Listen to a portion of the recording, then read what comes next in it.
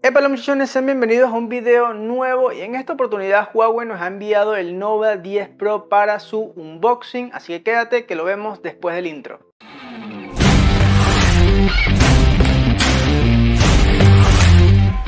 Así es, hoy te traigo el unboxing del Huawei Nova 10 Pro, el teléfono más nuevo de la serie Nova, así que vamos a estar viendo qué trae en la caja y de paso te voy a contar algunos datos interesantes sobre este teléfono, pero bueno, sin tardarnos mucho más, vamos de una vez a ello. Lo primero que podemos ver es que la caja es bastante, bastante gordita, eso siempre me da buena espina porque sabemos que aquí adentro van a venir varias cosas interesantes. Letras de Huawei Nova 10 Pro en un acabado como brillante rosado, me gusta, por supuesto dice Explorer App Gallery. Recordemos que este teléfono viene con la tienda de aplicaciones App Gallery donde vas a poder descargar cualquier tipo de aplicación y bueno, vamos de una vez a destaparlo. Lo primero que vemos es el teléfono. Este que me envían como es una versión de prueba que ya revisaron otros creadores viene sin el plastiquito protector, pero lo más probable es que cuando lo compres 100% seguro que te va a venir con un protector de pantalla para que tú lo puedas quitar y eso sea, no te pierdas ese momento satisfactorio que siempre nos da cuando tengas un teléfono nuevo. Así que lo vamos a dejar por aquí de lado un momento y vamos a ver qué otras cosas tenemos en la caja. Primero que podemos ver es el pinchito para la tarjeta SIM, bastante regular. Y también tenemos el protector de silicona que se agradece muchísimo que lo incluyan en la caja porque bueno recordemos que este teléfono cuesta 650 dólares así que nunca está de más eh, pues proteger tu inversión con este tipo de protectores que por muy sencillo que sea la verdad se agradecen muchísimo y bueno ya lo proteges desde el día 1 apenas lo sacas de la caja. Ya si posteriormente quieres comprarle otro que sea más de otro color o más que, que, lo proteja aún más, bueno, sí está en tus manos esa decisión, pero por el momento Huawei nos incluye este cover transparente sencillo que la verdad aprecio muchísimo. ¿Qué más tenemos por aquí? Pues tenemos el cable de carga que es de USB tipo A a USB tipo C, bastante común, bastante convencional y bueno, diría que mide un poco menos de un metro. Vamos ahora con el cargador y pues tenemos un cargador bastante gordito, fíjense el tamaño que es si lo comparamos con el teléfono. Pero esto tiene una razón de ser y es que este cargador es de 100 watts. Esto garantiza que puedas cargar el celular en un tiempo bastante bastante reducido, de hecho dice 100 watts Huawei Supercharge. Gracias Huawei por incluirnos cargador y cable de carga en la caja. Por aquí no tenemos más nada, y vámonos de una con el celular. Bueno, lo primero que podemos ver es que es un teléfono bastante bonito. Bueno, todos los teléfonos de la serie Nova se caracterizan por ser así de elegantes, bastante estilosos, digámoslo de alguna manera. Y este no es la excepción. Tenemos una pantalla que es curva, de hecho es una pantalla de 6.78 pulgadas con tecnología OLED. Así que ya de una vez te voy diciendo que esto se va a ver impresionantemente bien. Eh, en la parte de atrás tenemos un acabado que es como un negro mate y donde sobresale por supuesto el módulo de las cámaras. En la parte lateral tenemos los botones de subir y bajar volumen y el de encendido que tiene un detallito en rojo que le queda muy muy bien. Parte de arriba tenemos micrófono y tenemos un altavoz.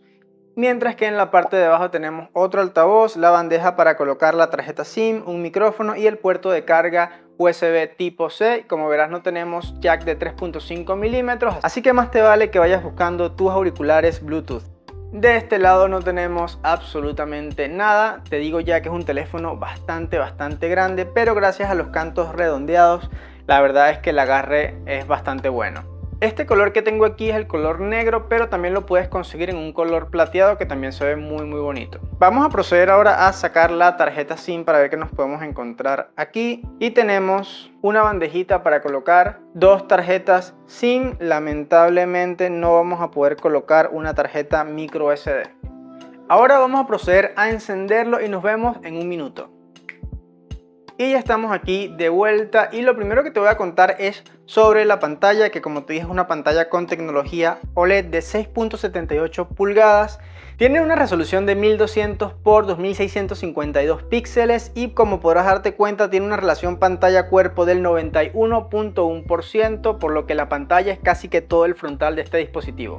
Por supuesto, como era de esperarse en un dispositivo de este precio, también contamos con tasa de actualización de 120 Hz. Te voy a contar un poco más de este teléfono, aunque recuerda que toda la reseña completa, todos los detalles te lo voy a contar en un próximo video, así que si aún no estás suscrito, suscríbete aquí abajo activando la campanita para enterarte cuando salga la reseña a profundidad del Huawei Nova 10 Pro. Y de paso, ya que estás aquí, te invito a unirte a las redes sociales que te estoy dejando por aquí para que vayas y formes parte de esta comunidad tan increíble que se está formando. Así que nos vemos en Instagram, nos vemos en Facebook, nos vemos en todos lados. Llégate. Algunos datos de este dispositivo lo podemos encontrar en el apartado de acerca del teléfono donde podemos ver que tiene una versión de MUI 12.0.1. MUI es la capa de personalización que incluye Huawei en todos sus dispositivos. También podemos ver que incluye un procesador Snapdragon 778G 4G. Tiene una RAM de 8 GB y un almacenamiento interno de 256 GB en total. Recordemos que lamentablemente no podemos expandirlo mediante memorias micro SD. Tienes que saber también que este teléfono cuenta con Harmony OS y que aquí no vas a encontrar Google Play instalado, por lo que tendrás que hacer uso de la App Gallery, que es la tienda de aplicaciones de Huawei, y también del Petal Search, que es otra opción que te da Huawei para que puedas descargar hasta un millón de aplicaciones que tiene su catálogo. Vamos, que no te vas a quedar corto por allí. Simplemente tienes que acostumbrarte a utilizarlo de esta forma porque no tiene los eh, Google Services, sino que tiene los Huawei Mobile Services. Si hablamos de las cámaras, tenemos un módulo bastante, bastante gordito que incluye tres lentes y un flash LED. El primer lente, el principal, tiene una resolución de 50 megapíxeles. Luego tenemos la segunda que es de 8 megapíxeles, que es el lente ultra ancho. Y tenemos también un lente de 2 megapíxeles para la profundidad. Aquí podemos ver algunas de las funciones que incluye la aplicación de cámara. Tenemos modo Pro, eh, cámara lenta, panorámica, apertura, super macro, en fin, bastante cosas. También tenemos un apartado de blog y bueno, por supuesto, video, fotos, retrato y muchas otras cosas, incluyendo el modo noche. En la parte frontal no nos encontramos con un sensor, sino dos, uno principal de 60 megapíxeles y uno retrato de 8 megapíxeles. Y aquí Huawei quiere que el factor diferenciador realmente sea la cámara frontal porque nos da muchas funcionalidades, incluyendo por ejemplo el autoenfoque y también la posibilidad de hacer zoom en la cámara frontal. En cuanto a la batería tenemos una de 4500 mAh que bueno ya veremos si realmente nos alcanza para el día a día. Lo bueno es que si te quedas sin batería contamos con un cargador de 100 watts que promete cargar el celular en un corto tiempo. Por supuesto que tenemos sensor de huellas en pantalla, tenemos reconocimiento facial y otras funcionalidades que ya veremos en la reseña completa. Pero por lo pronto hasta aquí llegó el unboxing de este dispositivo. No olvides que si te gustó el video déjame un comentario, dale like, compártelo con tus amigos y lo más importante, suscríbete aquí abajo activando la campanita para que te enteres cuando haya un video nuevo y en particular la reseña a profundidad de este teléfono. Nos vemos en el próximo video. Chao.